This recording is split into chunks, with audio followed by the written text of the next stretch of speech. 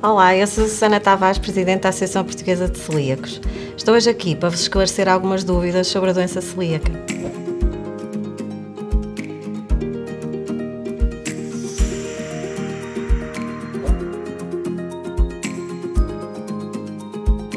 Não, a doença celíaca é uma doença crónica, ou seja, para toda a vida. Contudo, se fizer uma dieta isenta de glúten, deixa de ser doente celíaco e passa a ser celíaco.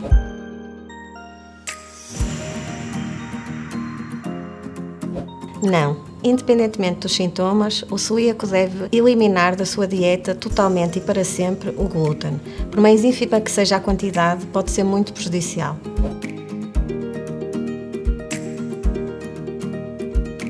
É verdade, a doença celíaca é frequentemente diagnosticada nas crianças, mas cada vez é mais comum o diagnóstico na idade adulta.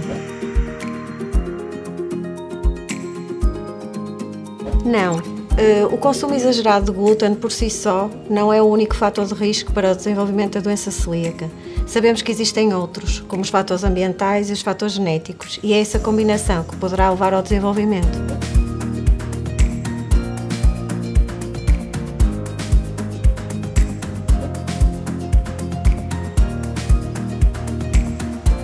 Sim, são mas ambas as doenças resultam da ingestão de glúten e têm a mesma sintomatologia. Contudo, a sensibilidade ao glúten, os resultados serológicos são normais e a biópsia intestinal também tem um resultado normal.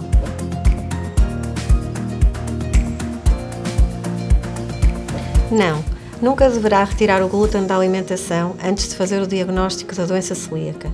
Se o fizer, poderá nunca ter o diagnóstico correto. Sim, a doença celíaca é uma doença hereditária. Estima-se que cerca de 15% dos familiares diretos de um celíaco possa desenvolver doença celíaca. Contudo, a intensidade dos sintomas desenvolvidos pode ser completamente distinta.